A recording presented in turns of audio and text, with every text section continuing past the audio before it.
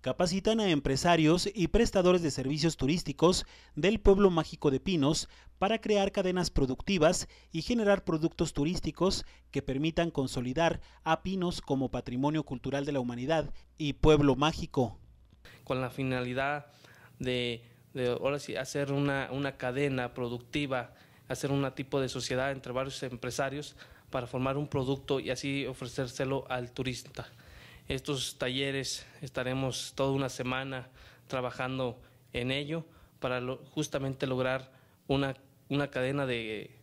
de prestadores de servicios que oferten un producto durante los trabajos a desarrollarse durante la semana de capacitación, se tiene como objetivo que los participantes valoren su contribución dentro de los procesos que en Pinos se están generando y que permitirá aumentar el número de turistas que seleccionen a Pinos para vacacionar y con ello incrementar la derrama económica en este pueblo mágico. Con imágenes de Celso Rodríguez y Isidro Aparicio, Noticieros Televisa.